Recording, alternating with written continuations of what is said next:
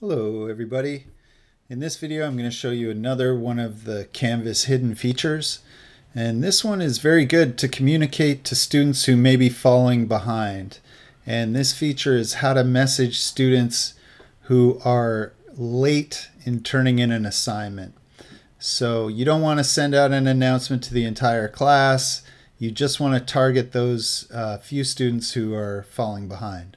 So to do this, we're going to go into grades on the left.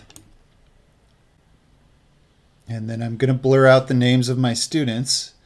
But you're going to go to the assignment that is the one you want to do this in. So for me, that is a discussion assignment. So I'm going to zip ahead here. And you'll see I have this column here, this introductions. And most of the people have done it. I haven't actually graded it yet, but there's all these ones in red with the line through it. These are all individuals who haven't turned anything in yet. So there's, uh, not counting the test student, there's about seven of them.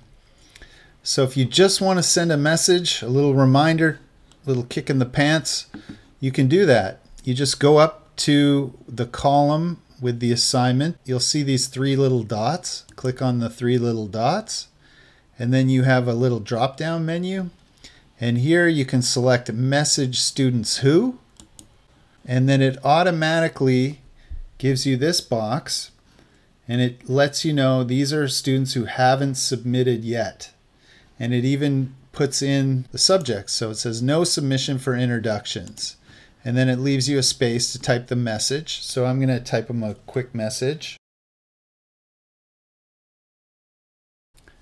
Okay, so now that I've written that little warning for them, I'm going to go ahead and click send message. And that's it. It sends a message just to those students who haven't submitted to that assignment yet.